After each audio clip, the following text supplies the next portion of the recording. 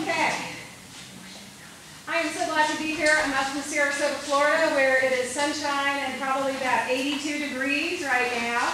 But since I'm from Brunswick, I know this feeling, this murky, drizzly feeling very well.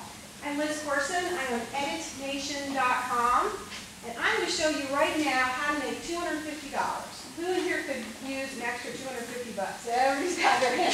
One lady back here doesn't care. All right, what if I told you that I was going to show you how to make 250 bucks, not a month, not a week, not a day, not an hour, 250 bucks a minute. Who in here wouldn't like to make 250 bucks a minute? And I'm going to show you, oh look, everybody's got their hand raised. I would too. I would too. I'm going to grab my Honda Fit. I've got two cars. I have a Honda and I have a, a Porsche. I'm not going to draw, I'm not going to wrap the Honda with a Porsche, but I am going to wrap the Honda. So I know this guy, and I said, give me a price to wrap my Honda. He came back with these proof copies. So I looked it over, I thought, no, no, no, this is really not where I wanted to go, but I had to see it first. You know how that is? So I want to draw your attention to my tagline, editnation.com, because everyone need an editor. now, is this a joke? Wouldn't it be funny if I drew a big black line through need and put needs and then drove around town? I thought about it for a couple seconds and I thought, no, because at this point, the buck stops here. And I need people to have confidence that I am a good editor and I can spot a typo at 50 paces. So this was a $2,000 car wrap. How long would it have taken that person to review his work? I calculate about eight seconds. And my friends, that comes out to 250 bucks one second for eight seconds. They lost my business by not taking that time and proofing my work. Because I'll tell you what, if you're going to proof anybody's work, it better be an editor. So what happens when you don't proof your work and you put your work online for a client, and there's a screaming typo on the first page. What credibility does that give to your client? And how bad does it make you look? You can't trust someone. Think about it. Who doesn't spell? This gal is in Sarasota. She claims that she's a WordPress advisor. But if she can't spell the word advisor, how much confidence do I have in her ability? Would I pay her? to give me her wisdom if she can't spell the word advisor and doesn't even put her stuff through spell check. Give me a break. So what I'm going to do today is I'm going to talk to you about excellence. I'm actually going to talk to you about perfection because this is a place where you can be perfect, just like the big guy upstairs. You can carve out perfection in your written words. And I want you all to take a deep breath and relax because I'm going to tell you a little bit of story about Serena Williams. We all know Serena Williams. She's been dominant in women's tennis for quite a while. Now, I want to ask you a question. When Serena Williams first stepped on the tennis court, do you think she cared about the width of the court, the height of the net, the length of the racket, or the size of the balls? I can practically guarantee you that she didn't give those things a second thought. She was there to play tennis. She was probably thinking about how to create a topspin lob, but she didn't care about the fundamentals, the foundation that creates the game of tennis. Because Serena Williams knows that if you change one of those things, you could change the length, the height, the width, or the size, you might be playing a game, but you're not playing tennis. So what I'm going to do this morning, this afternoon, is I'm going to show you the top 12 things you need to know about good writing in American English. These are the foundation, foundational, fundamental things where there is no discussion. I'll answer any question you ask of me except one, and that is why. Because there is no answer to that question. But I will tell you that these are the rules of American English right here, right now, in 2018. And they will be the rules for the foreseeable future. So just breathe and relax and join me. Because when you leave this room, I guarantee I'm going to have you knowing these rules and I'm going to have you thinking like an editor. Because we're going to find out pretexts. We're going to find out what you know. We're going to find out what you don't know. And we're going to find out, perhaps most important, what you're not sure about. That mushy middle ground where you're not sure. That's really what I want to find out because when you leave this room, I want you to leave this room with confidence. So let's take our first paper. Here's what we're going to do. We're going to take two self-graded quizzes. There's nothing particularly strange or exotic in these rules. Everybody should know them. So we're going to take two quizzes. The one we're going to take first is marked quiz number one. It's blue. 21 sentence quiz. I want you to mark the correct sentences. I want you to read the directions on what you go through. The only thing about this, everyone, is I'm going to give you four minutes. Because like I said, this is something you should know. Four, min four minutes does not translate into one minute per question. So if you get confused or flummoxed, just keep moving. Flow through it. I'd like to see if you can get through it, but if you can't, not to worry.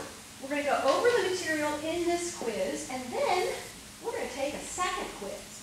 Because studies have shown that people retain new information 87% more if they're retested on new information immediately following the first time they learn it. So we're going to take a second quiz. And I'm going to blow your hair back because we don't have a lot of time. So four minutes starting right now. Let's take the blue quiz.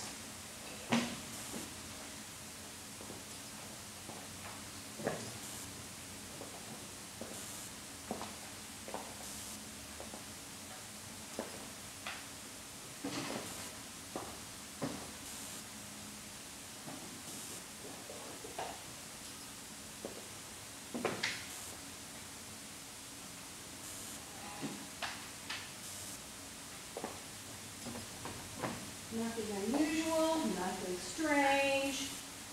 We should all know this.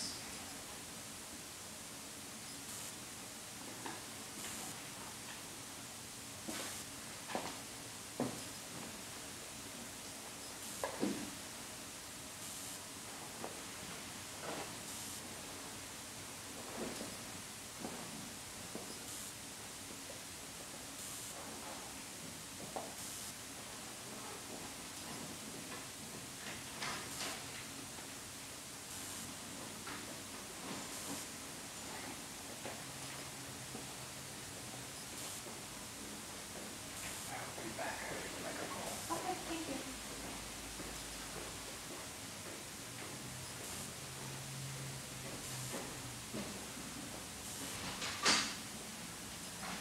About a minute and a half,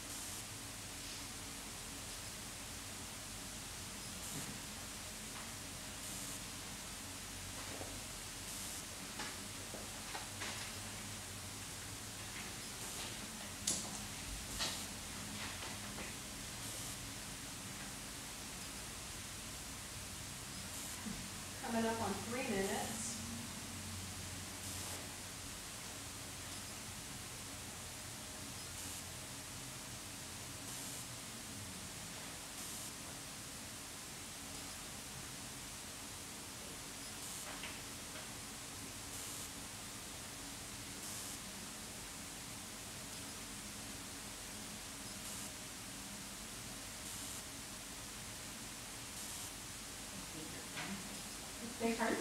Somebody's at Facebook. I'm sorry.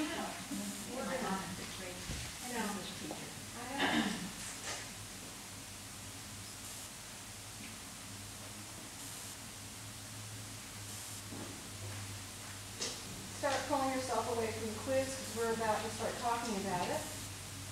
In five, four, three, two, one. All right. He didn't get finished. It's no big deal. No big deal. You're not editors, most of you probably. So let's get started. Let's look at question number, sentence number one. It is. Yeah, there we go. This is the number one mistake. In fact, I'm not going to mention any names, but I went to a session this morning and the fellow who was presenting got, got it wrong twice. so here we go. This is the number one mistake everybody makes.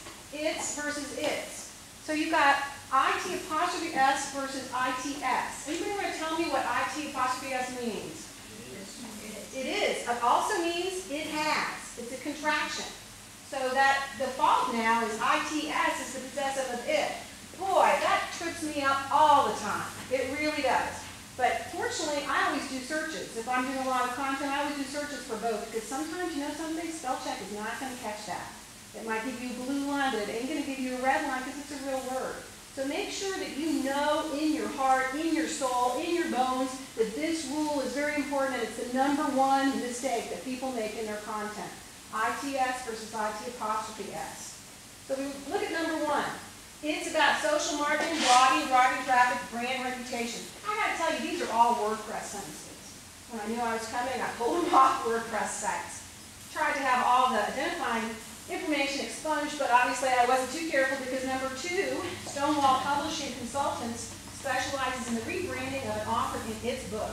That doesn't really make sense, but they got its wrong because it should be his or her. But anyway, that's the mistake in that sense. So two down, 21 to go. Both those sentences are about ITS versus IT apostrophe S. Number three, in American English, the noun drives the bus, which means if you have a singular noun, you cannot use a plural verb form or a plural pronoun. So let's look at sentence number three. The noun here is site builder. Site builder, not site builders. Site builder is one. So you cannot say in their path.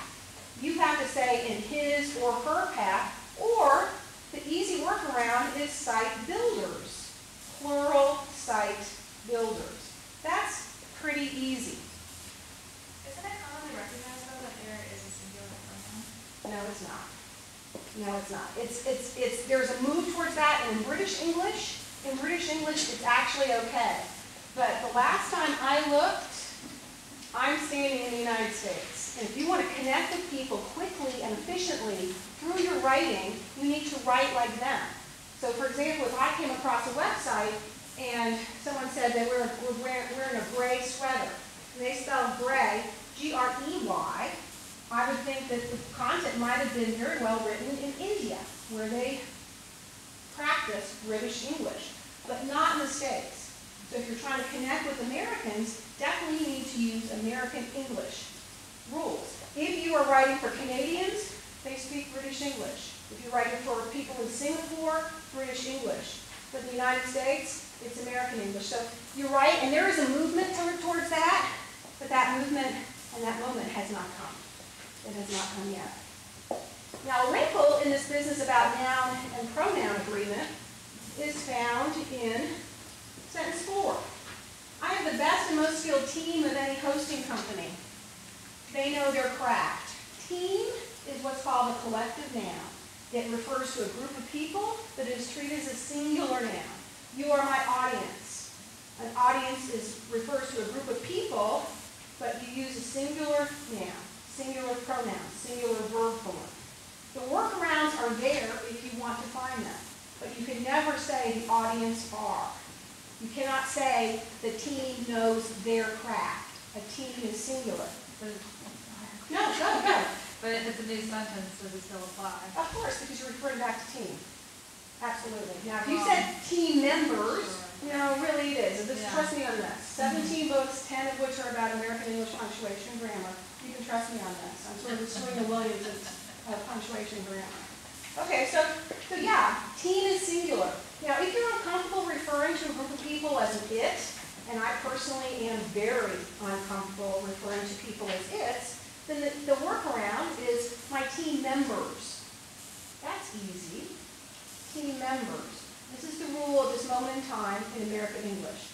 When the New York Times goes and changes this rule, I might consider changing my mind, but that moment has not come. Number five. What? The New York Times. Actually, you know something, I use what I call American academic style, which is a blend of Chicago, New York Times, and believe it or not, Princeton University style. So this is what people use in content, this is what people use in novels. New York Times has newspaper style. Unless you're writing for a newspaper, you're not going to use that style.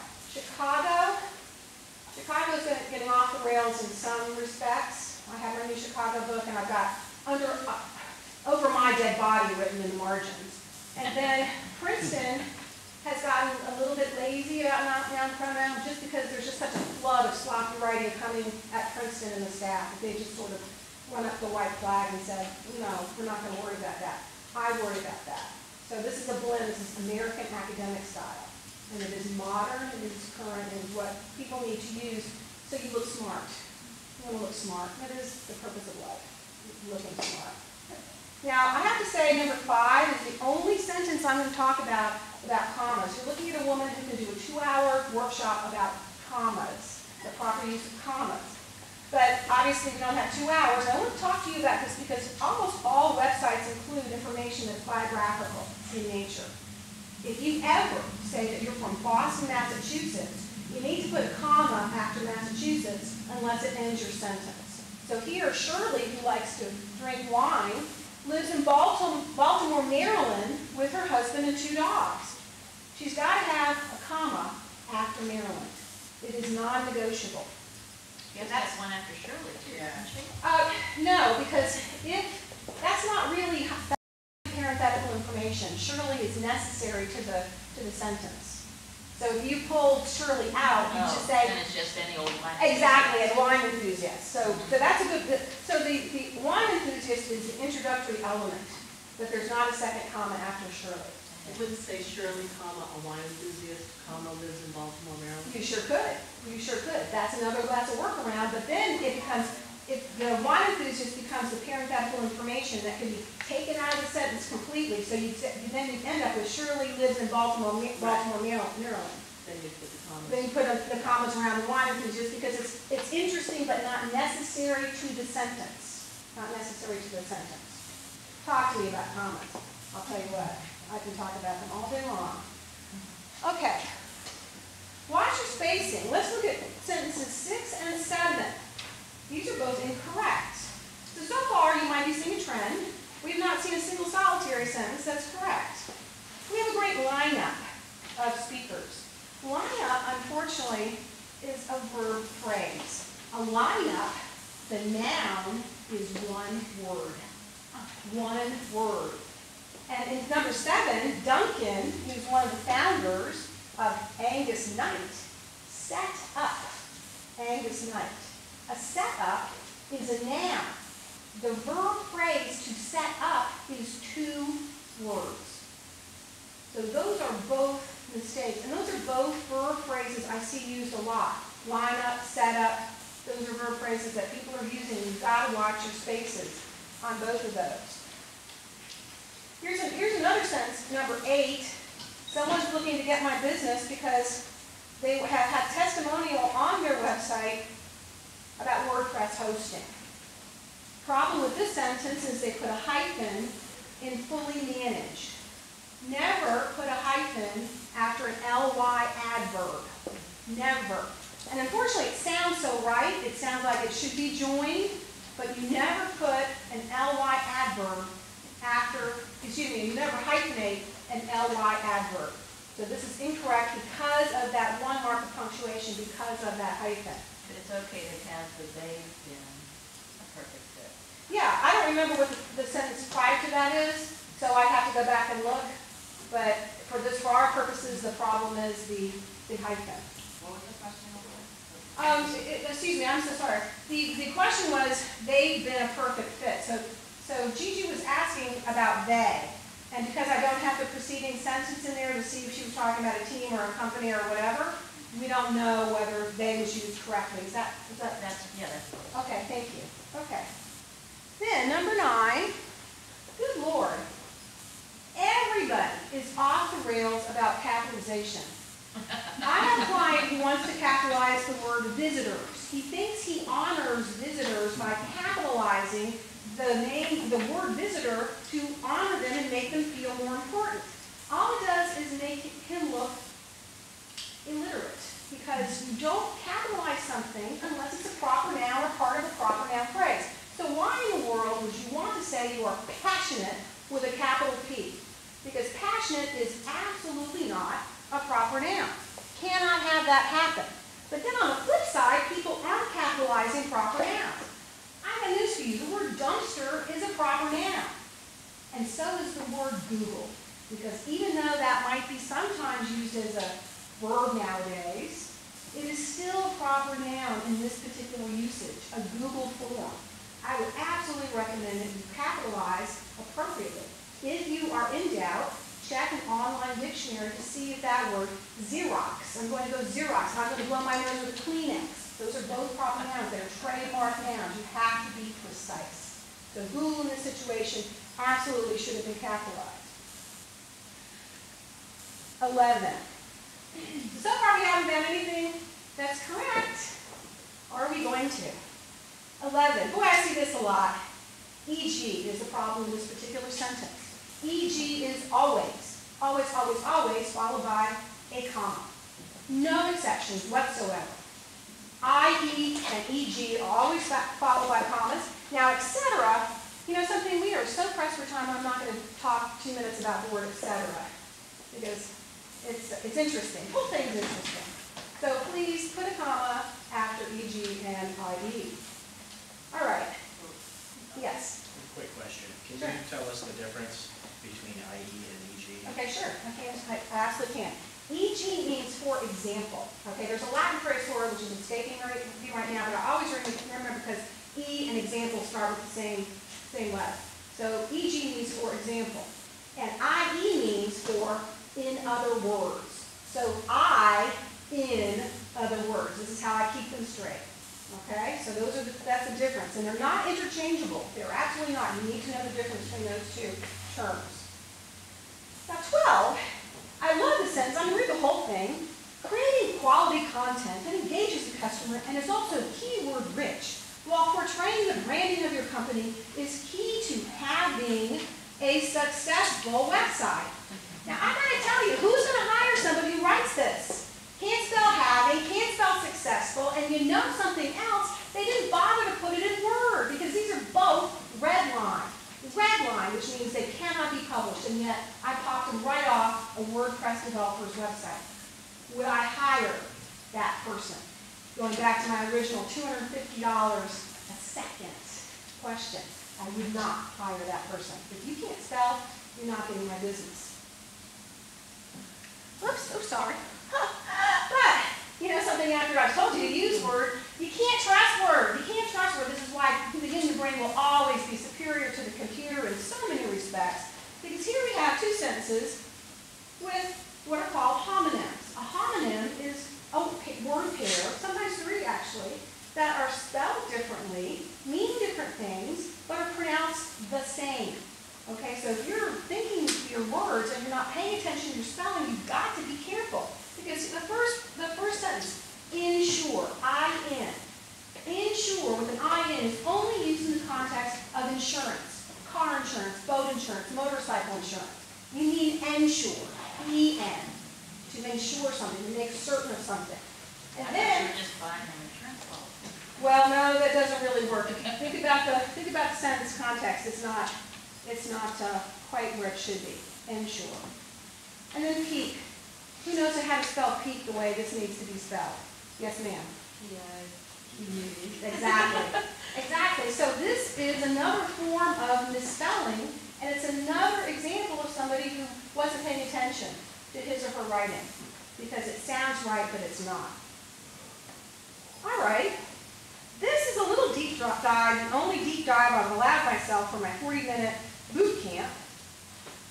Okay, I'm going to talk about quotation marks. I've seen them all over the place today, and I see them all over the place in, Ameri- in, in WordPress sites. And this is America. We've already discussed this. I'm going to look at 15, 16, and 15 and 16 for now. Okay, when you are in America and you are writing for Americans, you always lead with double quotes. And I will tell you what, there are no exceptions to this. None of these things actually I'm talking about today have exceptions. Or I wouldn't be talking about them. Double quotes. You always kick off with double quotes. So if you write something about one size fits all, and you lead off with single quotes, you might be writing for a British audience, but you are incorrect for an American audience. So you've got to have double quotes. One size fits all. Now, the other rule that I want you all to look at is number 16. In America, in America, when you have quotation marks, they are always placed outside periods and commas. And I mean always, no exception. Always. Periods and commas, quotation marks are outside. Semicolons and colons, the quotation marks are inside. And question marks and exclamation points depend on the context of the sentence. But just don't worry about that right now. We're only talking about periods and commas.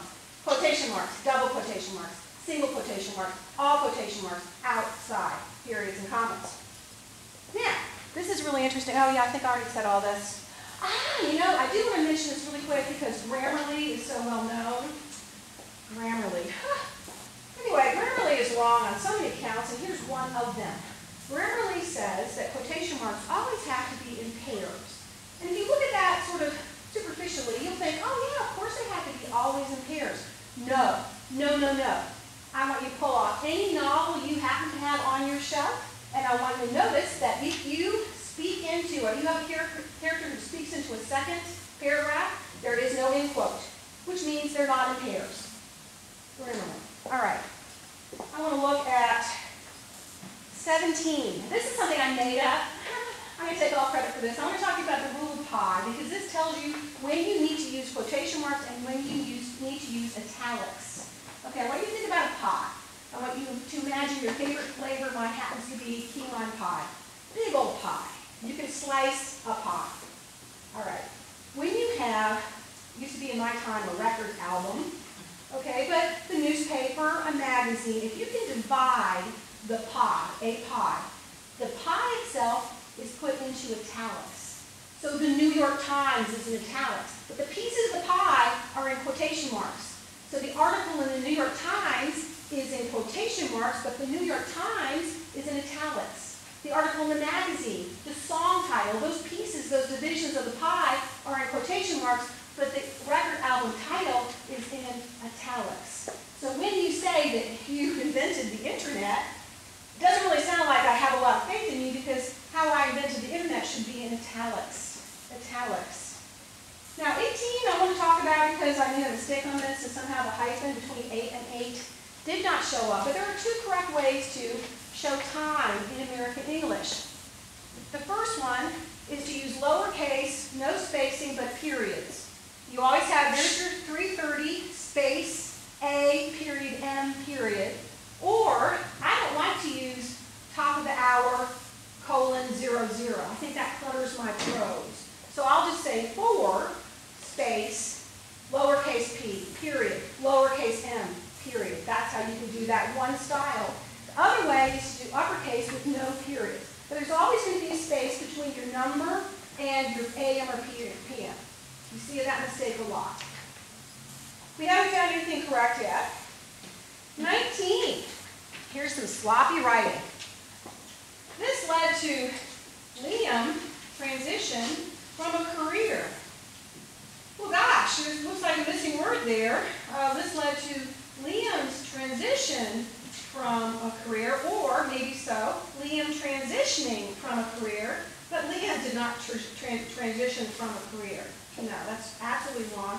And a careful edit, a careful check, double check, would have caught that.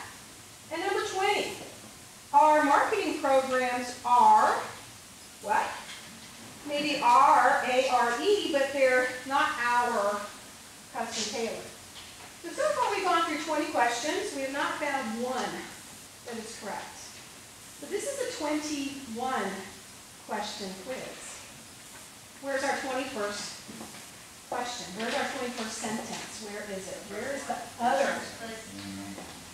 What? There we go. That's right. Those missing words, gosh darn it, they are a you know what to find. They're so hard to see because they're not there. Goodness gracious. So we've gone through 21 sentences and none of these were correct. None of them. But I told you, I promised you that I would have you thinking like an editor. So let's go ahead and think like an editor. One thing I see is I look at this as a piece, as a piece of writing. I see one sentence in here that's bolded. And one of the big bugaboos of writing, you've got to be correct, you've got to be compelling, and you've got to be consistent. So if this is of a piece, I would expect that all the words are going to be in the same font, in the same type of font, and if I saw a bold like this, I'd wonder why. I'd wonder why. So I would consider that, as an editor, a mistake. There's something else that's a little more profound, maybe a little more subtle, that I want to see anybody caught. Anybody catch something else you want to tell me about? There's something really stinky in this prose. And if everybody says uncle, I'll tell you what it is. Because when you see it, I guarantee you will not unsee it. This is the joy of being an editor, because once you see this stuff, it just comes up and slaps you upside the head. Is it the headline? No, no, I'm sorry. That's, if there's anything up in the headline, that's my doing. It's not that. I'm bothered by the second sentences going all the way under the numbers. Yeah. Oh, that bothers me too, but you know something? Ladies, that's not it. That's just me. Okay, yeah, I'll tell you what, I'll give you a hint. 15, 16, and 17 is where these mistakes are found. Okay, so everybody says uncle. We got three different kinds of quotation marks in this. We got directional, two different kinds of directional, and then we've got one kind of non-directional. Ouch, that is not good writing. You must have a style. You must establish a beachhead before you invade France. And you must say that our style is going to be directional or non-directional quotation marks.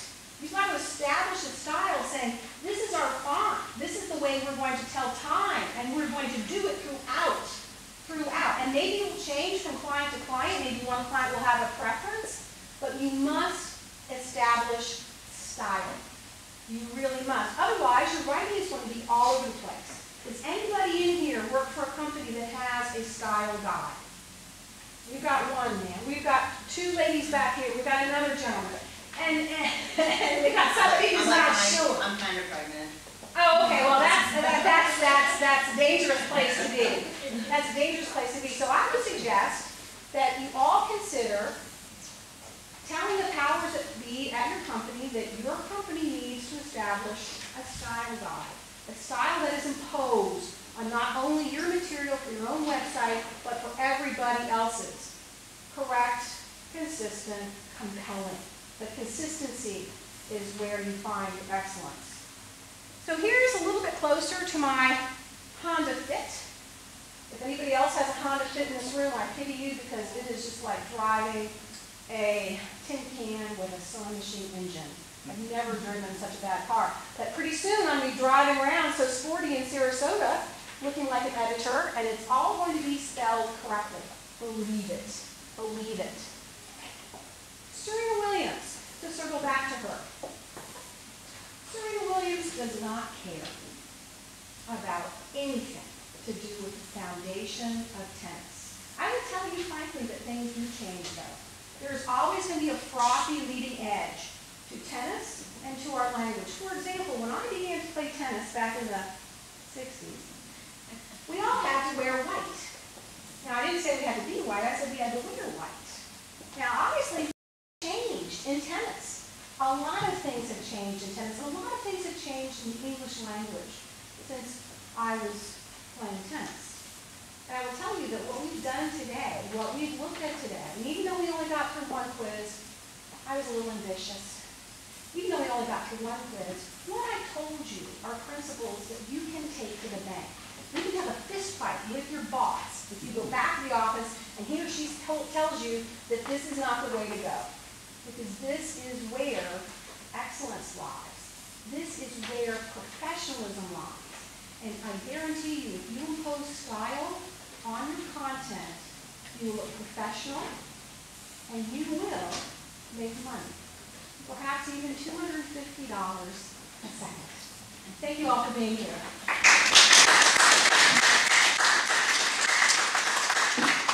Yeah, I guess we probably have a couple minutes, maybe? Two minutes. Two minutes, all right. Sir, you got a question? Have you sent of that to the Brunswick Times? Uh, I'm actually speaking in Brunswick probably in May. It's the tenth anniversary of my, my, uh, my first book, which is about Brunswick. So I'll be up doing an editing workshop. Their paper is terrible. I know, and I, you know, I do find mistakes in the New York Times from time to time, and I have a hotline to the senior editor. We go back and forth. Well, Brunswick, you don't even have to look. Really? It was, they're there. I'm sorry, and that's, that just shows you the decline, the precipitous decline of editorial standards. But that's okay because we are going to raise the bar.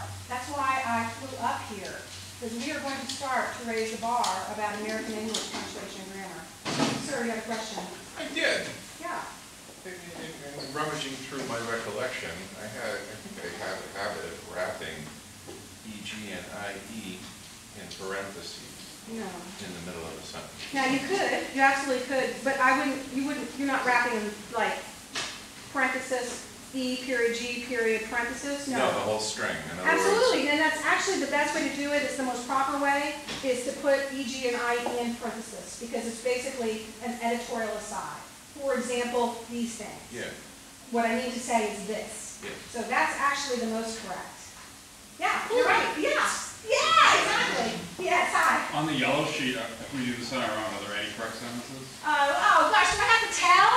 If you want to take your yellow sheet home and do it at your leisure, everything we covered is on the yellow sheet, and, and I will say, since I'm forced and you're, you're hurting me, uh, yeah, there are no correct sentences on the yellow sheet, but I'm hoping that if you look at it, you will know now why the sentences aren't correct. So please take it home and use it, and then my little rat card I, I pointed out, got passed out, that has all the stuff, so I've actually passed out a cheat sheet for the entire test with that rat card. But that's okay, I mean, who's, who's counting? Anybody else? I'll be here all day, if you got any some weird arcane question you wanna ask me, I'm ready. Who was Liz Taylor? Gigi and I had that, that, uh, that joke earlier. Yes, one more? I I didn't understand the, on, uh, sentence sixteen, the quotations and the commas, I didn't understand what you were saying, like, what is the correct answer for number sixteen? Sixteen? Yeah. Okay, well, sixteen, uh, oh, the quotation mark should be outside the comma. So it should go work for hire, comma? Yes, yes. Okay. No exceptions to that rule. Yeah, that's an easy one. Yes, hi. There's always a double quotation, where do you use the single quotation? A single quotation is a quote within a quote. So if I was saying, and then she said, I can't believe it. So I'd say, Liz said, and then she said, so Liz said, comma, quote, and then I'm gonna quote somebody else. Okay, so I'm talking, and then I'm quoting what she said. I can't believe it. So quote, blah, blah, blah, blah, single quote, because what you're trying to do is you're trying to communicate to your reader where someone's speaking stops and someone else's starts. So that way, if you use single quotes, you're cueing your reader that whoever's speaking is now quoting exactly someone else. That's why you use that. So it's double quote, blah, blah, blah, blah, single quote, end quote, single quote. Okay, so boom, end, boom, double quote. The booms in this are very important. I hope that I coached you through that. So you've always, you've got, you've got double quotes around it, the larger thing, and then single quotes around the quoted matter inside it.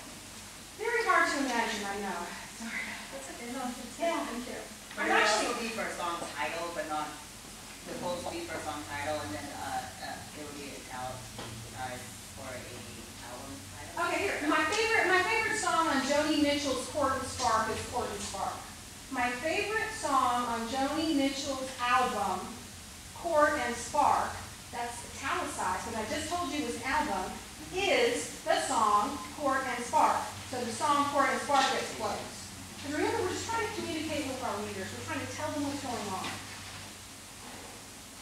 So I'm applying to WordPress Phoenix, and the big, the big lure of Phoenix is they want to give me two hours to do this program, and not three minutes. Yes. Are we gonna Finish? up? Yeah. Yeah, okay, so our next speaker's here. Are you the next speaker? All right, great. Thank you so much, everyone.